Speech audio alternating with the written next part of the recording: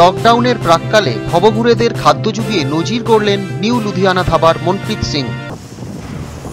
জগদীশপুরের Jaipur bus stand থেকে Dhulagarh bus stand পর্যন্ত বিস্তীর্ণ এলাকায় ভবঘুরেদের খাদ্য সামগ্রী তুলে দিলেন মনপ্রীত সিং। এদিন লকডাউন চলাকালীন চালচুলোরহীন ভবঘুরে মানুষদের লকডাউনের শুরু থেকে, বিশেষ করে লকডাউনের সময় দোকানপাট বন্ধ থাকায় এবং পথচলতি মানুষ কম থাকার ফলে এই মানুষদের খাবারের সমস্যা লেগেই থাকে। কখনো কখনো না খেয়েই কাটাতে হয় চালচুলোহীন এই মানুষগুলোকে। সে কথা মাথায় রেখে লকডাউনে প্রতিদিন মানুষকে খাবারের যোগান দিয়ে যাচ্ছেন।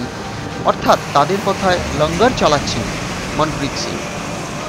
এদিন টানা আটচল্লিশ ঘণ্টা লকডাউনে দীর্ঘ কয়েক মাস পেরিয়ে শুরুতে দেখা গিয়েছিল, বহু স্বেচ্ছাসেবী সংস্থা ও ব্যক্তিগতভাবে বহু মানুষ এগিয়ে এসে ত্রাণ সামগ্রী সহ বিভিন্ন খাদ্য বিলি করেছিলেন। কিন্তু বর্তমানে বিক্ষিপ্ত লকডাউনের সময় সেই সংখ্যাটা একেবারেই কমে গিয়েছে। সেদিক দিয়ে নজর রেখে এই দিনের লকডাউনে খাদ্য সামগ্রী এই মানুষগুলোর হাতে তুলে দেওয়া খুবই গুরুত্বপূর্ণ একটি কাজ বলে মনে করেন এলাকার মানুষরা। অনেক বেশি গুরুত্বপূর্ণ এই সময় চালচুলোহীন ভবঘুরে মানুষদের খাদ্যের অভাব সামনে রেখে খাদ্য সামগ্রী তাদের কাছে পৌঁছে দেওয়া। জানালেন মনপ্রীত সিং। আমরা এখন এটা চিন্তাভাবনা করেছি কিছুদিন থেকেই। রাস্তায় যারা ভবঘুরেরা ঘুরে বেড়াচ্ছে, যারা জরুরতমন্দ আছে, যাদেরকে কেউ নেই যাদের।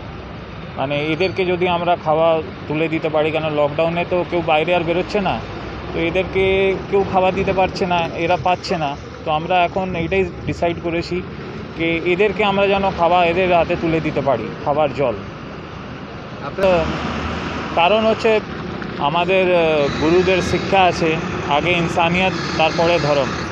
তো আমাদের আগে ইনসানিয়তটা আমাদের বাবা নানকের এ, ইয়াদ করে আমরা ওদের শিক্ষাতে আমরা এটা মানে মনে একটা ধারণা নিয়েছি কি আমরা বেরোবো আর যতদিন লকডাউন থাকবে, যে যে দিন লকডাউন থাকবে, আমরা এদের হাতে খাবার তুলে দেবো। আমরা একদম আমরা যেদিন যেদিন লকডাউন থাকবে, যবে যবে লকডাউন থাকবে, আমরা যতটা পারব, আমরা এটা চালিয়ে যাব। আর গুরু, আমাদের গুরু কা লঙ্গর কবি বন্ধ নেই হুয়া, তো আমাদের আশা করছি ভাইগুরু আমাদের সাথে থাকবেন, এটা কোনো দিন বন্ধ হবে না। দেখুন প্রায় দুটো বাজতে, তিনটে বাজতে চলল, আমরা অনেকক্ষণ আগে স্টার্ট করেছি।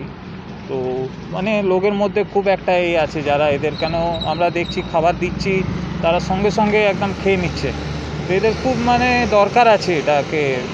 আমি মানে এটা একটা রিকোয়েস্টও করব যারা বাড়ির বাইরে যদি একবার দেখেন, যদি কাউকে দেখতে পান, অবশ্যই খাওয়া দিন, কেন খুব দরকার আছে এটা। যদি আমরা সবাই অল্প অল্প করে এটা করতে থাকি, তাহলে আমাদের সবার জন্য একটা ইজি হয়ে যাবে। আপাতত তো এই খাওয়া দাওয়ার তো চলবেই। তারপরে দেখা যাক যেটা আমরা আরও কিছু পারব এটা আমরা অবশ্যই আবার ট্রাই করব। মনপ্রীত সিং, ঢিল্লো।